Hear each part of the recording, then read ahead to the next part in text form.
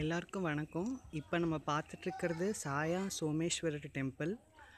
நால்கொண்டாலேருந்து ஒரு one kilometre ஒரு two கிலோமீட்டருக்குள்ளே இருக்கிற இந்த டெம்பிள். ஸோ இந்த டெம்பிளோட மெயின் கடவுள் வந்து சிவன். இந்த சிவனோட சிறப்பு என்ன அப்படின்னா சிவனுக்கு முன்னாடி இருக்கிற ரெண்டு பில்லர்ஸ் ஸோ அந்த பில்லரில் இருந்து ஒரு நிழல் வந்து சிவலிங்கத்தில் எப்பயுமே நிரந்தரமாக இருந்துக்கிட்டே இருக்கும். அதுதான் இந்த கோயிலோட சிறப்பு. அதில் முக்கியமான விஷயம் என்ன அப்படின்னா அந்த பில்லர் சிவனுக்கு எதிரில் இல்லை. சிவனுக்கு சைடில் ரெண்டு பில்லர் கட்டியிருக்காங்க. அந்த மாதிரி ஆர்கிடெக்சரில் இந்த சிவன் கோயிலை நிர் ஸ்தாபிச்சிருக்காங்க.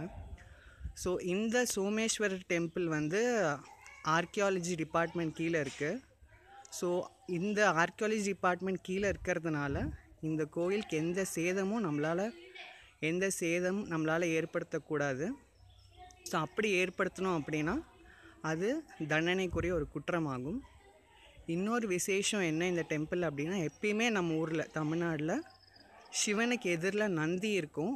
இங்கே வந்து அந்த நந்தி இல்லை சிவன் தனியாக இருக்கார். இந்த சிவனில் இதுதான் சிறப்பு. அந்த நிழல் எப்பயுமே அந்த சிவன் மேலே சிவலிங்கத்துக்கு மேலே விழுந்துக்கிட்டே இருக்கிறது தான் சிறப்பு. ஸோ இங்கே வந்து பார்க்கணுன்னு நினைக்கிறவங்க எப்படி வரலாம் அப்படின்னா ஹைதராபாத் வரணும் இல்லை செகந்தராபாத் வரணும். அங்கேருந்து பேசஞ்சர் ட்ரெயின் பிடிச்சி நம்ம இந்த நால்கொண்டா வரைக்கும் வந்துடலாம். நால்கொண்டாலேருந்து நமக்கு இந்த டெம்பிள் வர்றதுக்கு தட் இஸ் ஷாயா சோமேஸ்வரி டெம்பிள் வர்றதுக்கு ஆட்டோஸ் அவைலபிளாக இருக்குது இல்லை நடந்து வரணும் அப்படின்னா நம்ம நடந்து கூட வரலாம்.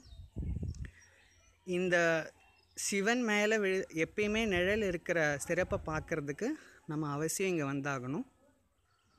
ஸோ மேற்கொண்டு தகவலுக்கு எப்படி வரலாம் அப்படின்ற டீட்டெயிலும் உங்களுக்கு வேறு ஏதாவது தேவைப்பட்டது அப்படின்னா கமெண்ட்ஸில் எழுதுங்க.